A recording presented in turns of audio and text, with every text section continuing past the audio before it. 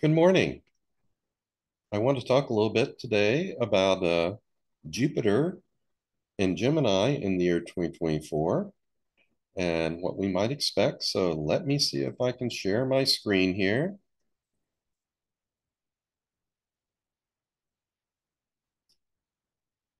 And I have to get rid of a couple of windows so that I can see what's going on. So just bear with me for a minute.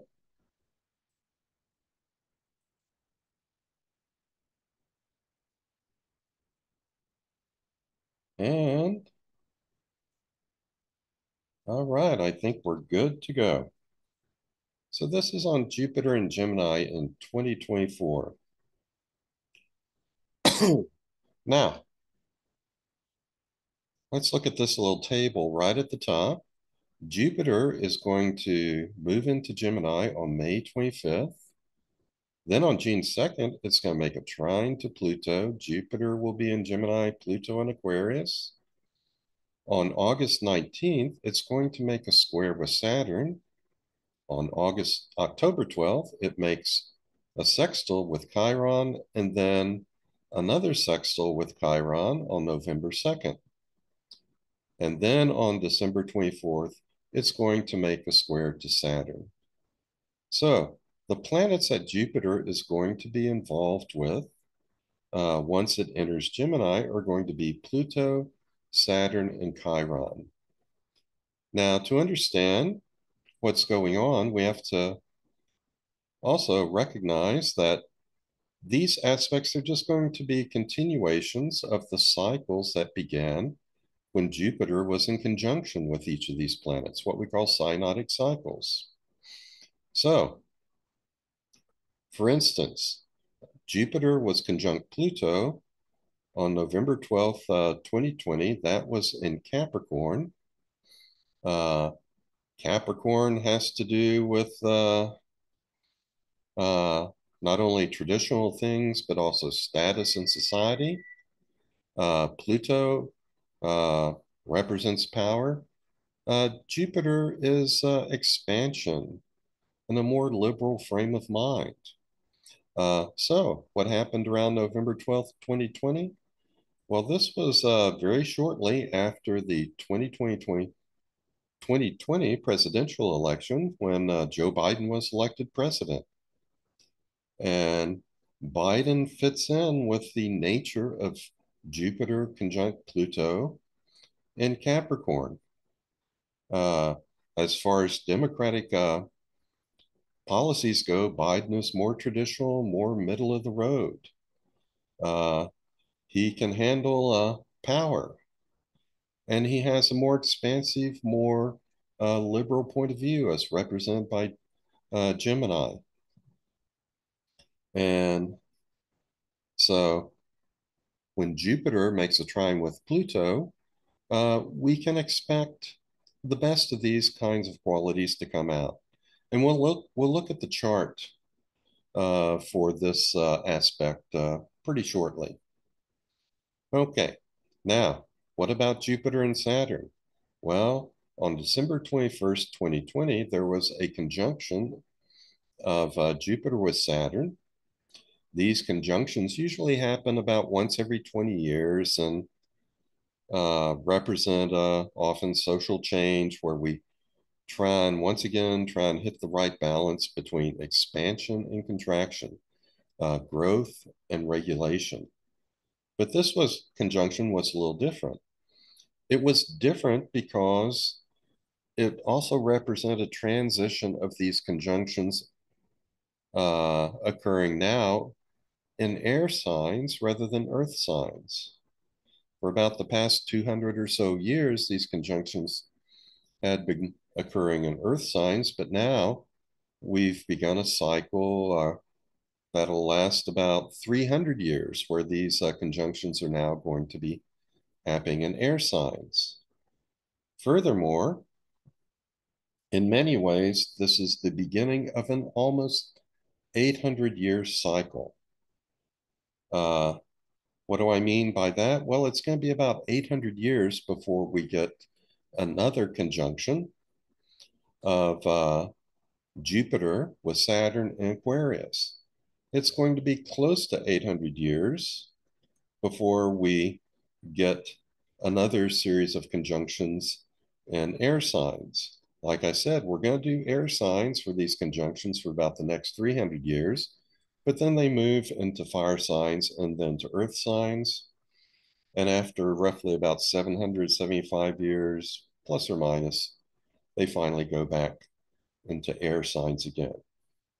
So that's what I mean here when I say this is the begin beginning of an almost 800 year cycle.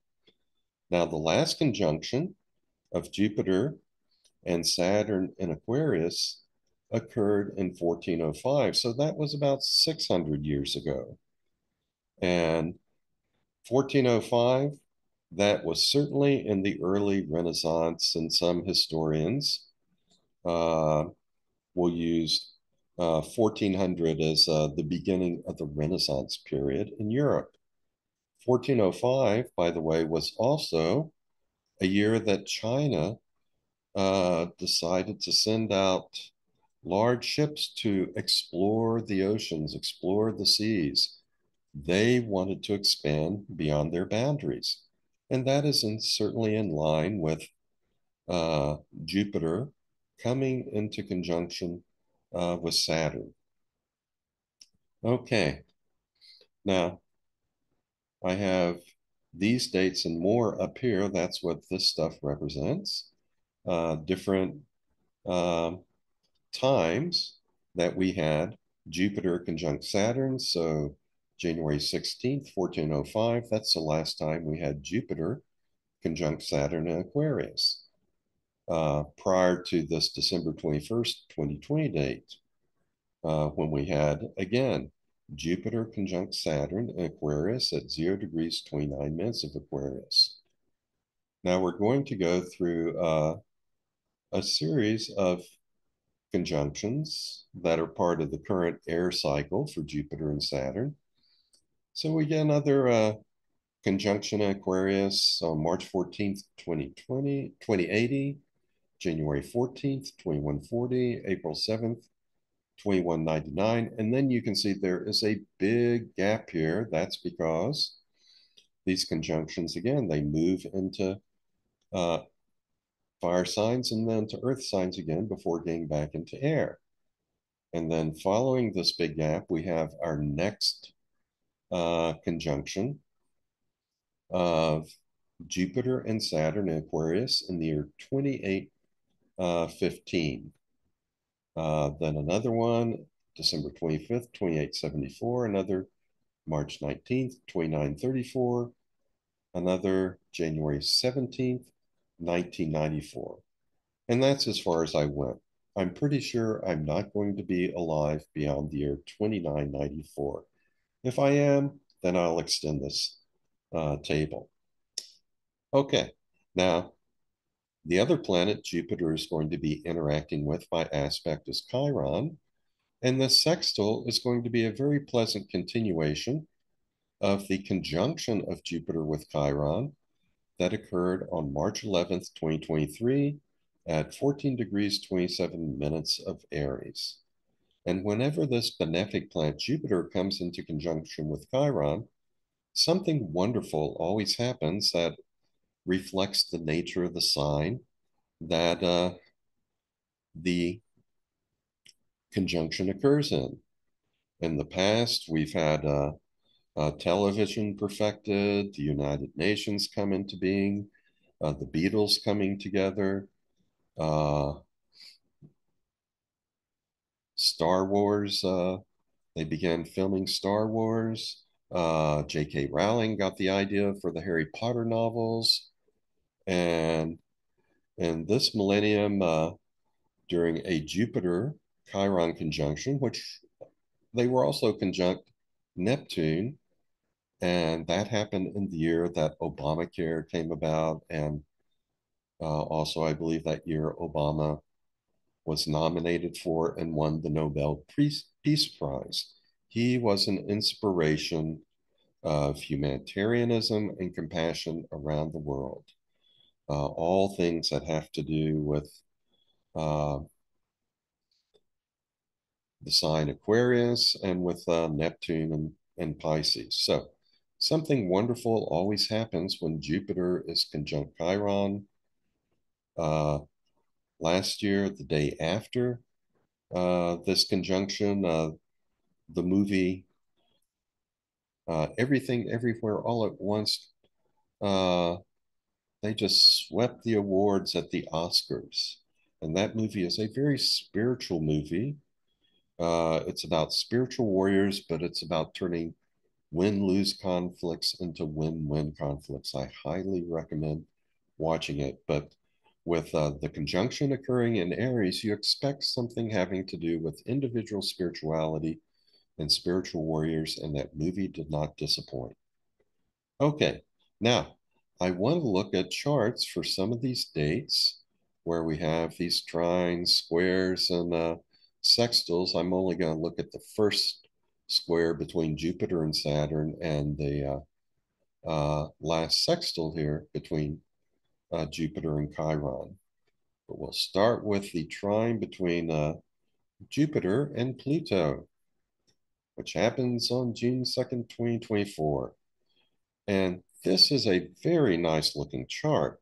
What squares you do have are pretty weak. And uh, you've got a lot of trines and sextiles in here. And Mercury conjunct Jupiter, it's making a very lovely trine to Pluto up in Aquarius. And Neptune and Pisces is making a sextile to both of them. Now, when Jupiter moves into Gemini, Gemini is all about ideas and thinking and curiosity and figuring things out.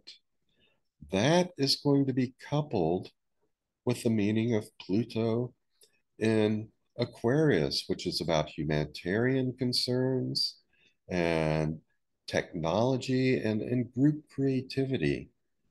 So, and then with Neptune making sextiles, Neptune adds this element of uh, inspiration, vision, and compassion to the mix. So, this is going to kick off a lot of very inspired thinking and creativity. Uh, this can result in a lot of uh, great scientific breakthroughs uh, for the world, a lot of uh, new technologies uh, coming along.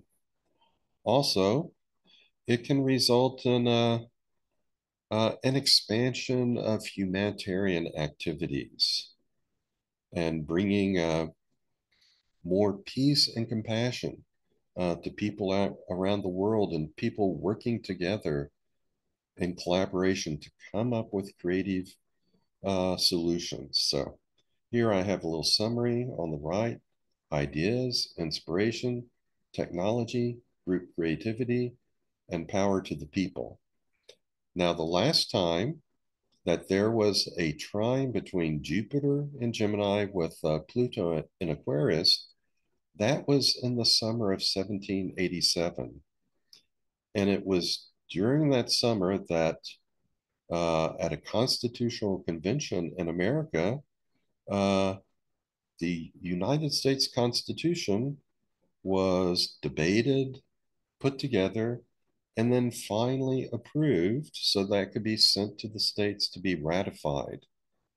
But the kind of high thinking represented here by Jupiter and Gemini trine Pluto and Aquarius. That is so clearly reflected in the construction of our Constitution. Jupiter and Gemini gives us lofty ideas. And Pluto in Aquarius. Remember, another thing that represents is a transfer of power from individuals to the people. And the Constitution spelled out exactly how that was going to work. So this is a very, very nice uh, chart to have at the time uh, that this trine becomes exact. It's going to kick off some really good things. Now, the first square between Jupiter and Saturn, that's going to be on August 19th, uh, 2024. And you can just look at this chart and see it's not quite so nice. We got a couple of T squares in here, for goodness sakes. Wow anytime you have a square, that's that's kind of a decision point, a turning point of sorts. That's always a point where you take the two drives represented by those planets and you ask our, something inside of us asks ourselves, do we want to continue in this direction with these two drives or we just want to break it off and go in separate directions? In this case, because it's Jupiter and Saturn, the question is, do we want more freedom or do we want more control, more regulation? The balance between uh, growth and regulation are being questioned uh, at this point. Now, what's really interesting is August 19th, 2024, that's also the day that the Democrats' National Convention will kick off. And when you look at the planets and aspects involved, it looks like it's going to be a very lively debate at the uh, convention. Uh, probably a lot of wrangling between uh, Democratic liberals or progressives and more traditional or more conservative Democrats.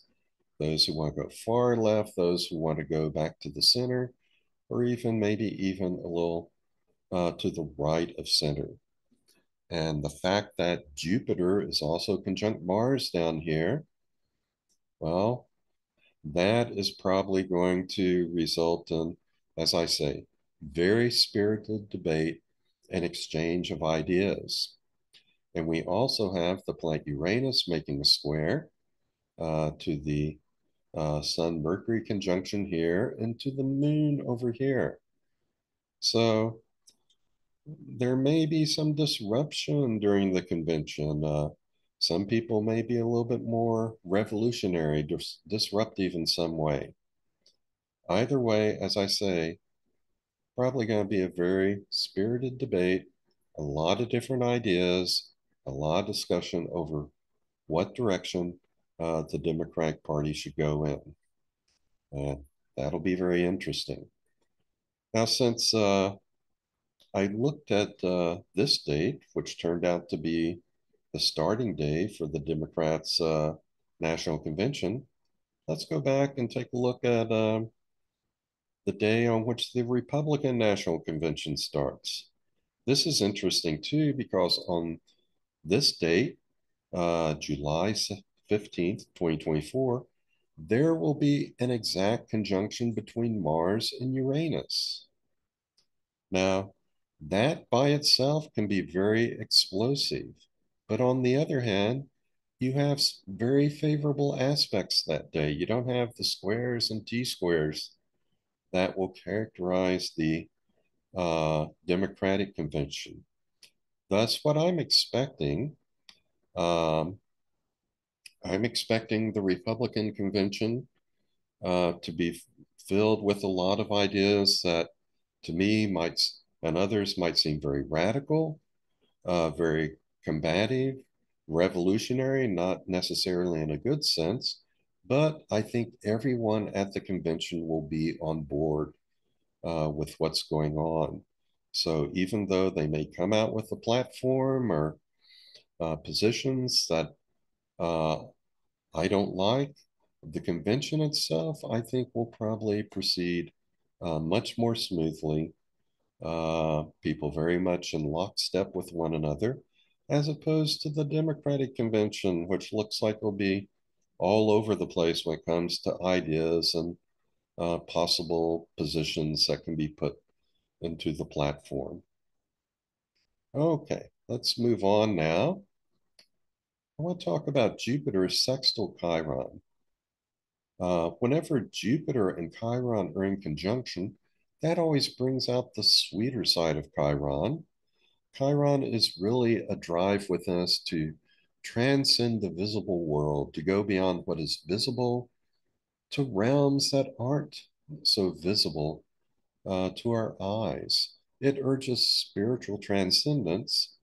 Uh, it's just that if we have these hard shells around us, those shells have to be cracked first uh, before that light can enter us. And that's where the wounding comes in. But whenever Jupiter is conjunct Chiron, you usually get something very sweet and very transcendent and very enduring. since Jupiter will be making a sextile to Chiron, this is going to be kind of a continuation, a further development in that sweetness. Also, if we use the one degree orb, I believe Jupiter is going to be sextiling Chiron from about mid September through the end of November. So that is going to be very nice. That's also a period, a, another period this year when it will be easier for us to experience some kind of spiritual transcendence. Anyway, the sweet transcendent side of Chiron will likely manifest at this time, and which is just three days before the presidential election. So a lot of these same aspects are going to be in effect during our presidential election this fall. And there is certainly an opposition between Pluto and Mars, which is very ominous and can be very explosive. But look at all the trines and sextiles we have, a grand trine, uh, smaller triangles here. There's so many good aspects at this time. I think that is going to overwhelm uh, whatever violence that Pluto opposition Mars might portend. So I think harmony is going to be the predominant uh, influence at this time. Uh, things will be feeling good because Jupiter sextile Chiron brings out the best. And this can, the fall can be a very good time uh, for everyone for spiritual growth if we apply ourselves in that direction. Okay, and it looks like that is it for this slideshow. So let me stop sharing. Whoops, you can't see me here. Let me put my camera back real quickly. Let's see. There I am. And so that's it. Uh, that's my take on Jupiter and Gemini. I hope you enjoyed it. And I uh, hope all is well. And I hope you join me again. Uh, for now, I'll just say so long and be well.